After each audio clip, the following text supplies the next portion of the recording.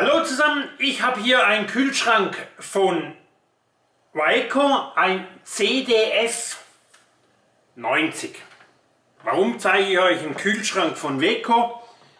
Weil dieser Kühlschrank war oder kommt wieder in ein Wohnmobil rein. Und ihr seht hier hinten hat es keine Kühlmaschine. Normalerweise steht hier die Kühlmaschine drauf, hier der Kompressor, hier der Wärmetauscher und hier entsteht Geräusche. Bei diesem Wohnmobil ist hier oben das Bett, also das heißt der Kopf ist direkt über dem Kompressor und der Kunde hat gesagt, er möchte das Kühlaggregat weg und zwar zwei Meter.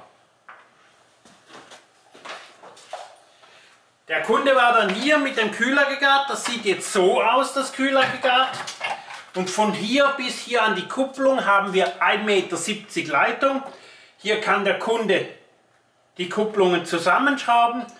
Der Kunde kommt vom elektrischen, die Kabel verlängern macht er selber. Bis hierher, er baut sowieso noch einen digitalen Thermostaten ein. Also unsere Arbeit war jetzt einfach Leitung zu trennen hier verlängern.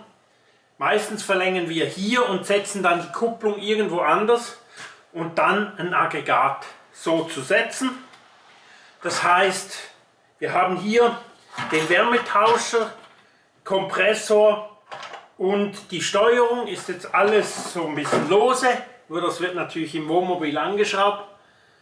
Ja, das ist Arbeit, die wir machen, aber kauft euch jetzt nicht so einen Weco-Kühlschrank, sondern es gibt das ja fertig.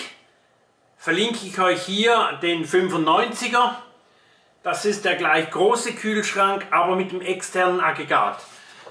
Weil dieser Platz hier oben ja, ist ja jetzt nicht mehr zu gebrauchen, da steht, ist leer. Und der 95er hat ein bisschen mehr Inhalt wie dieser Weco-Kühlschrank. Dometik heute. Ja, das soll es gewesen sein. Kühlschrank mit Kupplungen verlängert. Hier der 95er und hier ein Video über die Kupplungen. Und somit wünsche ich euch einen schönen Tag.